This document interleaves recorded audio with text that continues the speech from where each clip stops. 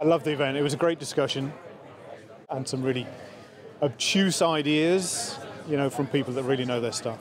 It brings attention to a current and exciting issue which um, built environment is probably, well, feels quite behind compared to other industries. I don't think that AI is a threat to lighting designers, but I think lighting designers think it's a threat. I think we'll see changes. And those changes might be good actually in some ways. I think we might see a much more collaborative approach. It's not exactly a threat to lighting designers who still want to explore new things and ask different questions to what AI could ever come up with. I think AI um, it can enhance the um, the experience that we can create.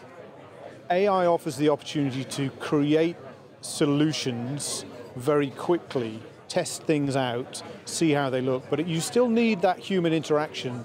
Because no client wants to talk to a robot. they want to talk to a person and engage with someone who will make it fun and interesting for them.